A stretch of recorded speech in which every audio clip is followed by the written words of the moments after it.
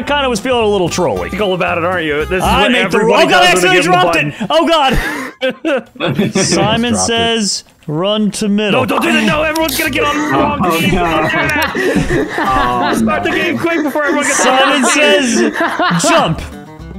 Just right click the damn button. Simon This is fun. says I like this spin. Well, there we go, there we go. Yeah, and then after that, I found out that there was an achievement named after me called Jerome Stop It, which involves killing a bunch of parrots. So we did this. Oh, Jerome, if you kill a lot of parrots, you get your own achievement.